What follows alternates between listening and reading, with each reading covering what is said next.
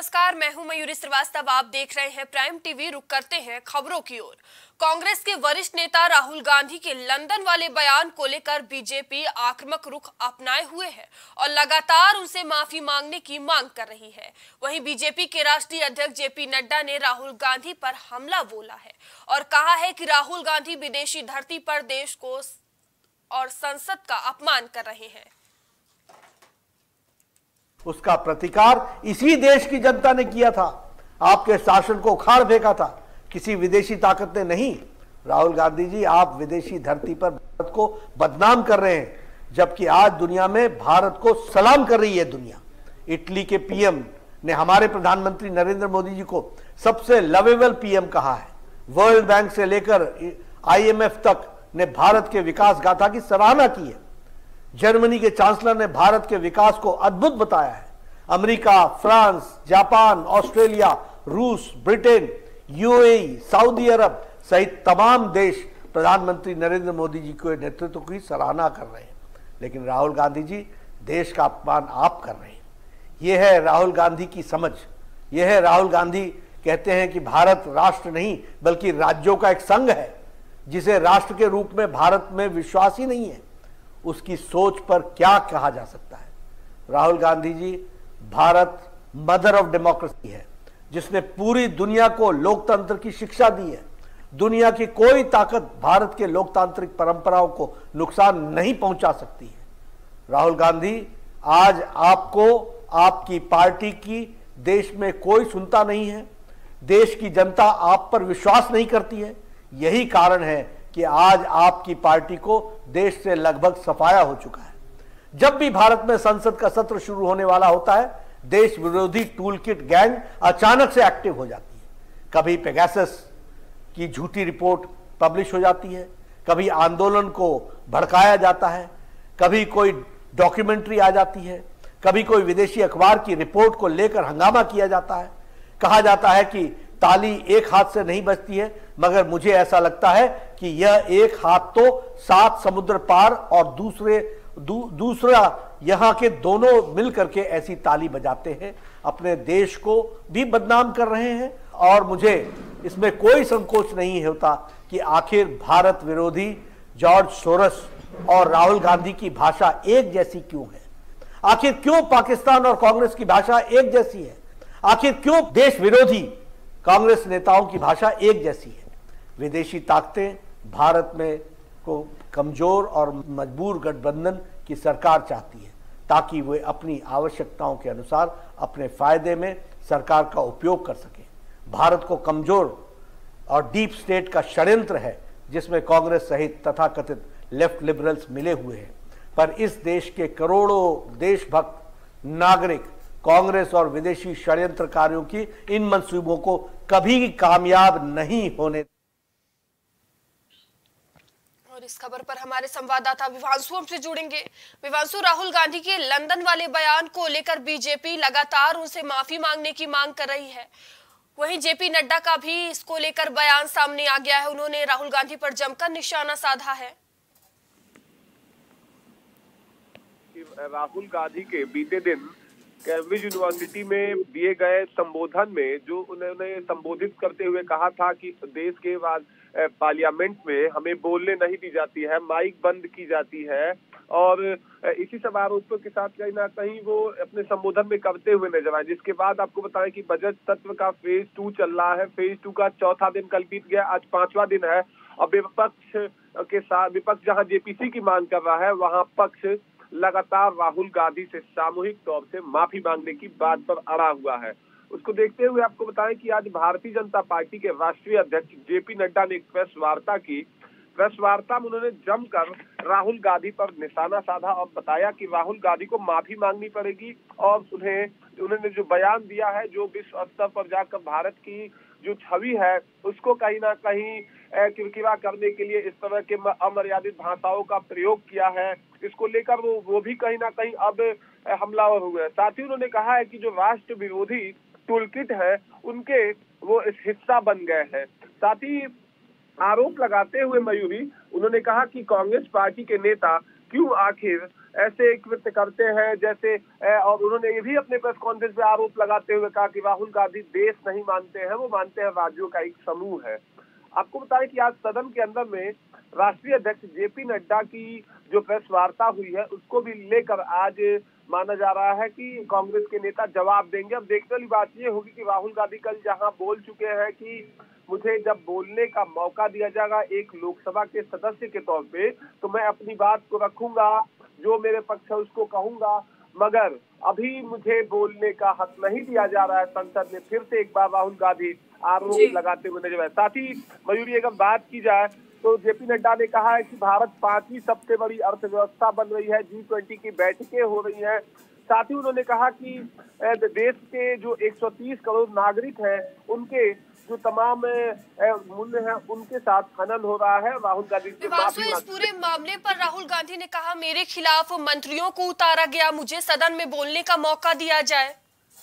जी, बिल्कुल निश्चित तौर से आप जैसे आप देख रही हैं कि सदन की चार दिन की कार्रवाई के दौरान, चाहे बात की जाए स्मृति ईरानी जो कि केंद्रीय मंत्री हैं, चाहे बात करें पीयूष गोयल जो कि केंद्रीय मंत्री हैं, ऐसे तमाम मंत्रियों के द्वारा लगातार संसद भवन के अंदर में राहुल गांधी के दिए गए बयान को लेकर लगातार सवाल जो पूछा जा रहा है, उस पर राहुल गांधी, अनुराग ठाकुर ने सवाल खड़ा किया था कि राहुल गांधी संसद का हिस्सा क्यों नहीं बन रहे उसके बाद आपने देखा कि कल राहुल गांधी संसद का हिस्सा बने जिसके बाद उन्होंने कहा कि मुझे मौका दिया जाएगा तो मैं बोलूँगा। उन्होंने आरोप लगाते हुए कहा कि भारतीय जनता पार्टी की सरकार अपने मंत्रियों से मुझे टारगेट कर रहा है देखने वाली बात ये होगी मयूरी कि आज राहुल गांधी अपने मुद्दे पर अपने जो आरोप लगे हैं उस पर क्या स्पष्टीकरण देते हैं अगर उन्हें मौका मिलता है तो। जी। जी धन्यवाद तमाम जानकारियों के लिए। लेकिन राहुल गांधी जी वहीं राहुल गांधी के विदेश में दिए बयान को लेकर जेपी नड्डा ने प्रेस कॉन्फ्रेंस की और राहुल गांधी पर जमकर निशाना साधा है। क्या कुछ कहा है? जेपी नड्डा ने, आइए आपको एक बार सुनाते हैं। मदर ऑफ़ डेमोक्रेसी है, जिसने पूरी दुनिया को लोकतंत्र की शिक्षा दी है। दुनिया की कोई ताकत भारत के लोकतांत्रिक परंपराओं को नुकसान नहीं पहुँचा सकती है। राहुल गांधी, आज आपको, आपकी पार्टी की देश में कोई सुनता नहीं है, देश की जनता आप पर विश्वास नहीं करती है।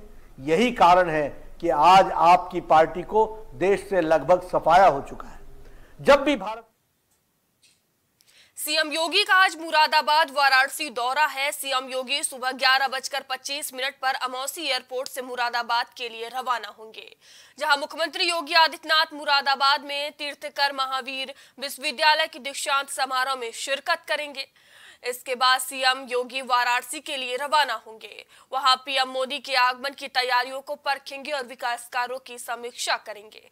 बता दें, प्रधानमंत्री नरेंद्र मोदी 24 मार्च को वाराणसी दौरे पर आएँगे। इस दौरान पीएम मोदी कई परियोजनाओं का लोकार्पण और शिलान्यास करेंगे।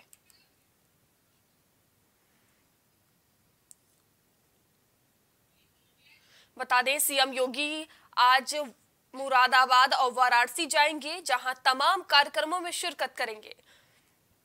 बता दें, सीएम योगी महावीर विश्वविद्यालय के दीक्षांत समारोह में शिरकत करेंगे। वहीं सीएम योगी वाराणसी भी जाएँगे, जहाँ पीएम मोदी के आगमन को लेकर हुई तैयारियों का जायजा लेंगे। और इस खबर पर अधिक जानकारी के साथ हमारे संवाददाता विवेक हमसे जुड़ चुके हैं। विवेक, सीएम योगी का आज मुरादाबाद वाराणसी दौरा है। क्या कुछ खास रहने वाला है? क्या कुछ पूरा शेड्यूल है? मुरादाबाद इसके बाद वाराणसी के दौरे पे होंगे। ये दो दिन की वाराणसी का दौरा होगा, मैं बता दूँ वो पहले मुरादाबाद जाएँगे, जहाँ पे तीर्थंकर जैन महावीर विश्वविद्यालय के दीक्षांत कार्यक्रम में समारोह होंगे।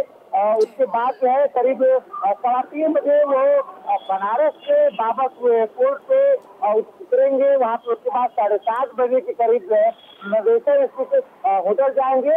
एयरपोर्ट उतरने के बाद वो सर्किट हाउस का रुख करेंगे और सर्किट हाउस से जो है वहाँ पे जाएँगे तमाम लोगों से।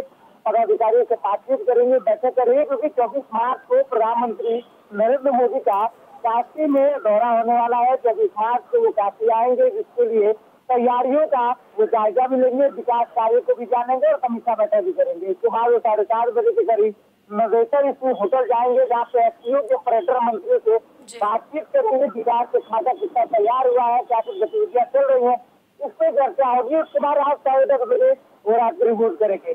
दो दिवसीय बनारस का दौरा है, प्रधानमंत्री जा रहे हैं और इस तरह से देखा जाए तो संसदीय क्षेत्र है, प्रधानमंत्री नरेंद्र मोदी का बनारस आने वाले समय में बेहद जल्द आम चुनाव होने वाले हैं, निकाय चुनाव एक महीने के अंदर ही हो सकता है। तो इस प्रकार से आप देख सकते हैं कि जब ये दौरा हो रहा है प्रधानमंत्री नरेंद्र मोदी का, उससे पहले एक हफ़्ते पहले मुख्यमंत्री खुद जाके बनारस में दौरे का जायजा लेंगे, निश्चित करेंगे क्या कुछ तैयारियाँ पूरी हो गई है।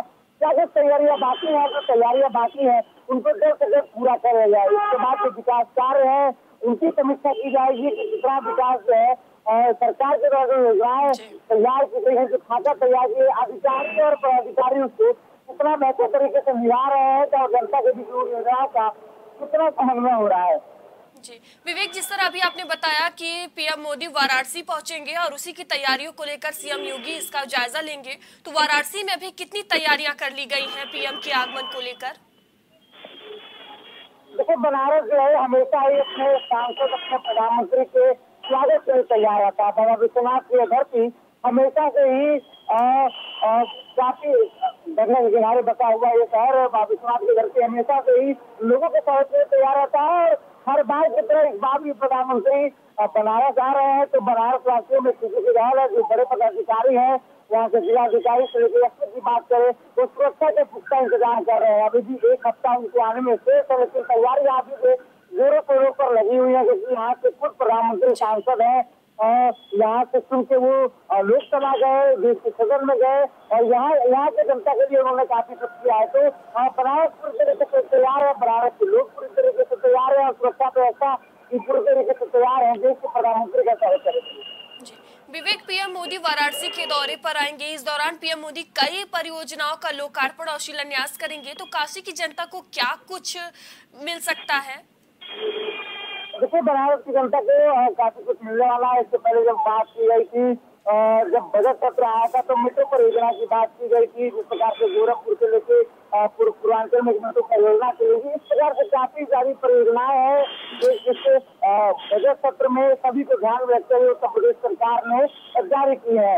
उन परियोजनाओं का लोकार्पण भी होगा और तमाम जो परियोजना पहले से चल रही है उनकी समीक्षा बैठक भी होगी, उनकी समीक्षा भी की जाएगी, बड़े पदाधिकारी के साथ स्थिति होगी। इस बैठक देखा जाएगा कितने कार्य पूरे हुए हैं, कितने बाकी हुए तमाम तरह की चीज़ें होंगी, मंत्रियों के साथ बैठक होगी और बड़े पदाधिकारियों के साथ बैठक हुई विभाग के उसके बाद समीक्षा के बाद जो तैयारियों का भी खासा और जायजा लिया जाएगा कि प्रधानमंत्री के आने में कितनी तैयारियाँ पूरी हो चुकी है। जी, धन्यवाद विवेक तमाम जानकारियों के लिए।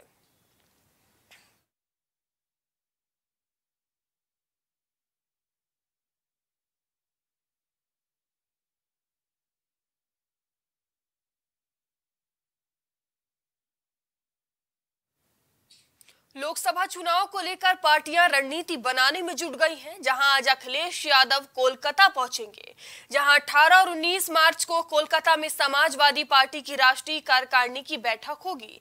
इससे पहले सपा के कार्यकर्ता ने शहर में पोस्टर और बैनर से पट चुका है। खास बात यह है कि कोलकाता की इस दौरे के दौरान अखिलेश पार्टी कार्यकर्ताओं को भी संबोधित करेंगे। इसके लिए 400 सीटों वाला ऑडिटोरियम भी तैयार हो चुका है। बता दें कि शाम पाँच बजे सीएम ममता बनर्जी से अखिलेश यादव मुलाकात करेंगे।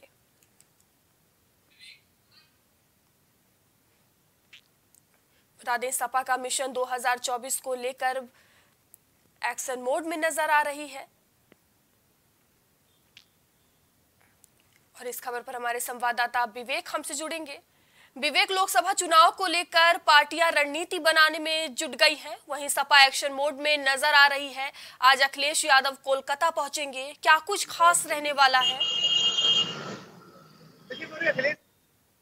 यादव के साथ कोलकाता के लिए रवाना हो गए हैं। उन्होंने से सेल्फी डाल के इस बात की पुष्टि भी कर दी है। मैं आपको बता दूँ कि कोलकाता में समाजवादी पार्टी के राष्ट्रीय कार्यकारिणी की बैठक होने वाली है और ये पांचवी बैठक है जो कोटा में होगी। इससे पहले दो हज़ार बारह में ये आखिरी बैठक हुई थी। दो चौबीस के लोकसभा चुनाव को देखते हुए विपक्ष जो है खुद को एक साथ लाने का प्रयास जुट गया है। और जिस तरीके से हमने पहले एक महागठबंधन विपक्ष का देखा था क्योंकि पूरी तरीके से ऊपर रहा था। उसके बाद चौबीस के चुनाव के लिए अखिलेश यादव कभी केसीआर से मिलते हैं कभी ममता बनर्जी से मिलते हैं। इसके पहले भी हमने देखा है कि ममता बनर्जी के अखिलेश यादव की नजदीकियाँ काफ़ी रही है। ममता बनर्जी दिल्ली में जाकर अखिलेश यादव से मिलती है उत्तर प्रदेश में आके अखिलेश यादव से मिलती है अखिलेश यादव कोलकाता जाते हैं।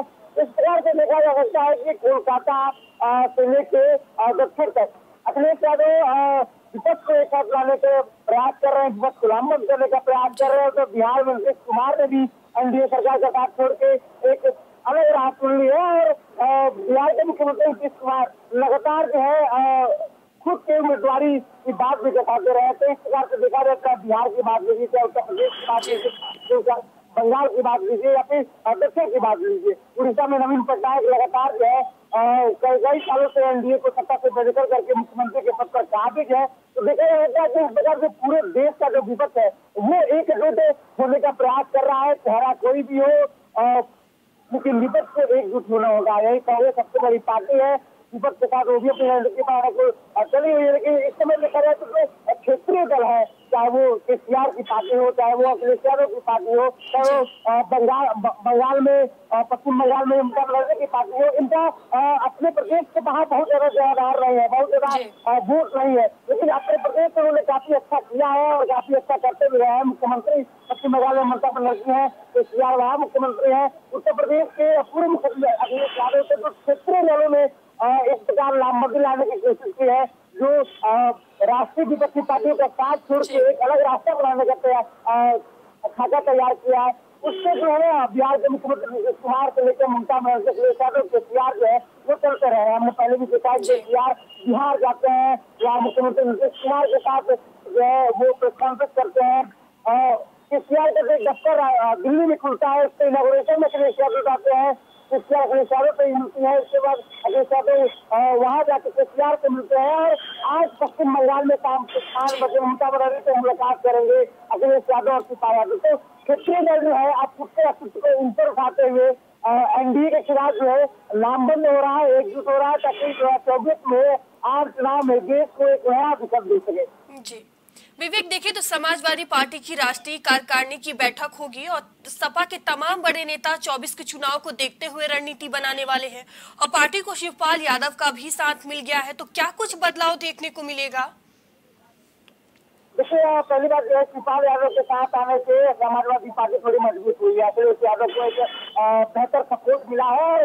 और देखा जा सकता है कि शिवपाल यादव के बाहर रहने के बाद जो लोग अखिलेश यादव के नवरत्न नवरत्न बन चुके थे, जो इर्द गिर्द मचाते रहते थे और जिनके फैसले के नाते समाजवादी पार्टी की कहीं ना कहीं दुर्गति हुई थी उनको जो है अब किनारे लगाना शुरू कर दिया गया है। शिवपाल यादव इस चीज़ को भली बात समझते हैं चाहे वो सदन में समाजवादी पार्टी के, के लिए उठाया गया मुद्दा हो या जनता के लिए उठाया गया मुद्दा हो वो भली बात की राजनीति समझते हैं और काफ़ी समय से इस राजनीति के खेल में अ, वो उतरे हुए हैं काफ़ी महान खिलाड़ी है राजनीति के। इस प्रकार से देखा जा सकता है कि काफ़ी ज़्यादा मजबूती हुई है फ़ैशन में। अब विस्तार भी हो सकता है राष्ट्रीय कार्यकारिणी की बैठक जो है अ, वो कोलकाता में हो रही है तो कहीं ना कहीं बड़ा फैसला लिया जा सकता है। एक बड़े फैसले में ये भी रविदास मल्होत्रा को राजस्थान का प्रभारी बनाया गया।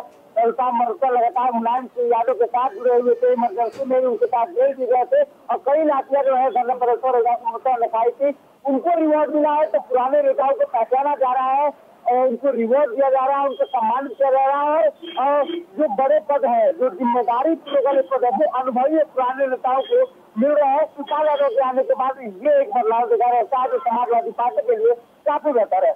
जी, धन्यवाद विवेक, तमाम जानकारियों के लिए।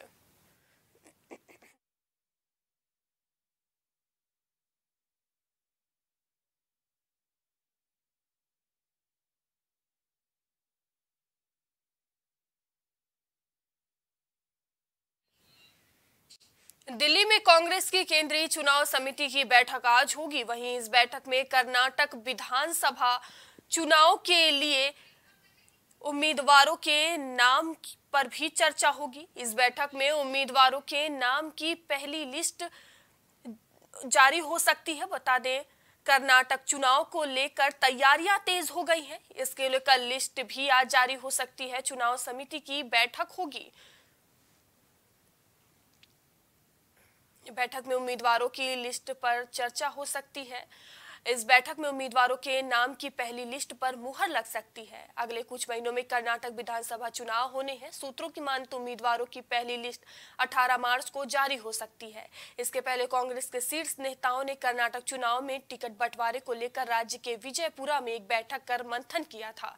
जानकारी के मुताबिक राहुल गांधी के कर्नाटक दौरे से पहले पार्टी करीब एक सौ बीस उम्मीदवारों के नाम का ऐलान कर सकती है। राहुल गांधी बीस मार्च को कर्नाटक पहुँचने वाले हैं। राज्य के बेलगावी में पार्टी की मेगा रैली में शामिल होंगे।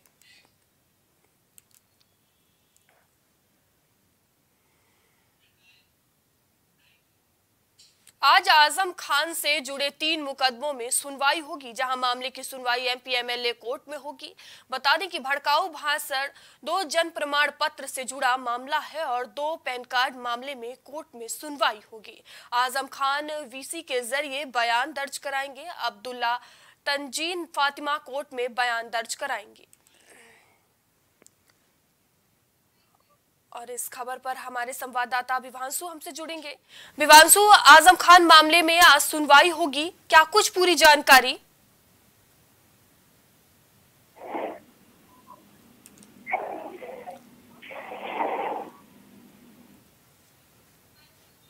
विवांशु आपको आवाज़ आ रही हमारी? विवांशु से फिर से जुड़ने की कोशिश करेंगे। बता दें, आज आज़म खान से जुड़े तीन मुकदमों में सुनवाई होगी। और एक बार फिर से संवाददाता विवांशु हमसे जुड़ चुके हैं। विवांशु आज आज़म खान से जुड़े तीन मुकदमों पर सुनवाई होगी। क्या कुछ पूरी जानकारी? जी, मयूरी, आपको बता दें कि आज़म खान की मुश्किलें कम होने का नाम नहीं ले रही हैं। आज तीन मामलों में उनकी पेशी है। वीडियो कॉन्फ्रेंसिंग के माध्यम से उनकी पेशी हो रही आपको बताएँ कि वो अपने स्वास्थ्य की दलील देकर वीडियो कॉन्फ्रेंसिंग की आग्रह किए थे, जिसके बाद माननीय कोर्ट ने उन्हें वीडियो कॉन्फ्रेंसिंग कॉन्फ्रेंसिंग के माध्यम से अपनी बात रखने की स्वीकृति दी गई थी। आपको बताएँ कि भड़काऊ भाषण और दो जन्म प्रमाण पत्र दो पैन कार्ड मामले में आज सुनवाई होनी है। और इस मामले में अगर बात करें तो अब उनके पुत्र अब्दुल्ला आज़म, उनकी पत्नी तंजीमा फातिमा का भी कोर्ट बयान दर्ज कराएगी। आपको बताया कि आज़म खान की सदस्यता रद्द कर दी गई। सरकारी काम में बाधा डालने को लेकर साथ ही उनके पुत्र को स्वार से उनकी भी जो सदस्यता है विधानसभा की, इसकी रद्द कर दी गई। और लगातार देखा जाए तो आज़म खान पर लगभग दर्जनों मुकदमे लगातार कार्रवाई में है, पैरवी में है। अब तीन मुकदमों में आज वीडियो कॉन्फ्रेंसिंग के माध्यम से पेशी होगी। अब देखने वाली बात ये होगी कि इन तीनों मामलों में कोर्ट अपना क्या फैसला सुनाती है। जी धन्यवाद व्यासु तमाम जानकारियों के लिए।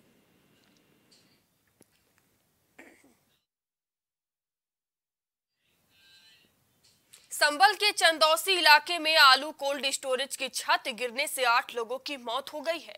ग्यारह लोगों को बचाया गया है। अभी भी कुछ लोग और मलबे में दबे हैं। एनडीआरएफ और एसडीआरएफ की टीमें बचाव अभियान चला रही हैं। डीआईजी शलभ माथुर ने बताया कि अभी तक ग्यारह लोगों को रेस्क्यू किया गया है। आठ लोगों की मौत हुई है। अभी भी कुछ लोग लापता है। बचाव अभियान अभी भी लगातार चल रहा है। उत्तर प्रदेश के संबल के चंदौसी के इस्लाम नगर रोड स्थित ए आर कोल्ड स्टोरेज के एक हिस्से की छत भरभरा कर गिर गई। अभी तक 11 लोगों को रेस्क्यू किया गया है। आठ लोगों की मौत हुई है। अभी भी कुछ लोग लापता है। बचाव अभियान भी लगातार चल रहा है। मुख्यमंत्री योगी आदित्यनाथ ने हादसे पर गहरा शोक जताते हुए घायलों के उचित उपचार कराने के निर्देश दिए हैं और मृतकों के परिजनों को दो लाख की आर्थिक मदद का ऐलान किया है और गंभीर घायलों को पचास पचास हज़ार रुपए मिलेंगे।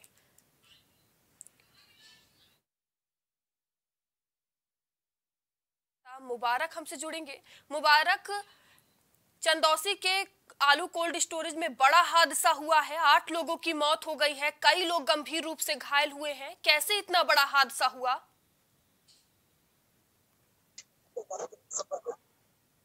मामला बताया जा रहा है और बड़ा हादसा हुआ है और दूसरी तरफ़ जो एनडीआरएफ की टीम लगातार रेस्क्यू कर रही है और और इसमें करीब करीबन आठ लोगों की मौत मौत हो गई है। आठ लोगों की मौत होने के बाद उन्नीस लोगों को रेस्क्यू कर, कर लिया गया है और और काफ़ी संख्या में प्रशासन मौके पर मौजूद है और और पूरे भाई मुरादाबाद सीआईजी और यहाँ पे सदरनाथ दुर्ग मौके पे मौजूद है और काफ़ी संख्या इकट्ठी है और कम से कम पाँच जिलों की फोर्स है मौके पर मौजूद है। मुबारक, आप मौके पर मौजूद हैं। एक बार हमारे दर्शकों को पूरी तस्वीर दिखाने की कोशिश करें। मैं आपको बताना चाहूँगा तो तस्वीरें तस्वीरें, ये सामने तस्वीरें दिखाई जा रही हैं और तस्वीरों में रेस्क्यू जारी है और और रेस्क्यू लगातार चल रहा है और करीबन रेस्क्यू कल से ग्यारह बजे से रेस्क्यू चल रहा है और रेस्क्यू रेस्क्यू अभी तक जारी है। और सामने तस्वीर है सामने काफ़ी काफ़ी जेसीबी और वगैरह और एनडीआरएफ की टीम लगी पड़ी है और और सामने आप, आपको देखा जा रहा है और कितनी तेज़ी से रेस्क्यू चल रहा चल रहा है और कभी करीबन उन्नीस लोगों को निकाल निकाल लिया निकाल लिया गया है और दूसरी तरफ़ दूसरी तरफ़ करीब आठ लोगों की मौत हो गई और और उनका बाकी का मुरादाबाद में इलाज चल रहा है। मुबारक अभी कितने लोगों को बाहर निकाल लिया गया है अभी तक और कितने के और मलबे में दबे होने की आशंका जताई जा रही है? अभी पता नहीं चल पा रहा चल पा रहा है कितना लोग अभी दबे पड़े हैं और इसमें अभी रेस्क्यू रेस्क्यू जारी है और, हमारे हमारे साथ और चक्रेश मिश्रा भी मौके पर मौजूद हैं और और उनसे हम बात बात करेंगे अब कितने का रेस्क्यू हो गया है और कितना कितना, कितना जारी है सर कितने का रेस्क्यू हो गया और कितना जारी है। सर अभी अभी नहीं रुकी लाइन बात थोड़ी होता है जी जी जी सर। जी अभी अभी बात कर रहे हैं अभी बता रहे हैं और सचिन मिश्रा जी ने बताया बोले अभी अभी रुक जाइए और अभी तक जो अधिकारी हैं यहाँ पे जो जो पता सब पुष्टि करेंगे अभी अभी यहाँ पे मौके पे मौजूद नहीं है और अभी इस टाइम और लगातार रेस्क्यू जारी है। मुबारक इस पूरे मामले पर सीएम योगी ने भी संज्ञान लिया है मुआवजे का ऐलान किया है उन्होंने। हाँ सीएम योगी ने काफ़ी दुख जताया है और काफ़ी में एनडीआरएफ की टीम के लिए क्लासेस कर दिए हैं और लगातार रेस्क्यू जारी है। ये जो मुबारक रेस्क्यू का कार्य चल रहा है ये अभी कितनी देर और चल सकता है? तो ये माना जा रहा है कभी करीबन करीबन अभी और इसमें पाँच घंटे और लग सके हैं रेस्क्यू में। और जो मिल मालिक है अभी फरार बताया जा रहा है और दूसरी और, और दूसरी तरफ़ जो पुलिस की टीमें लगातार दबी दे रही है और और लगातार दवाई दबी दे रही है उसमें। जी धन्यवाद मुबारक तमाम जानकारियों।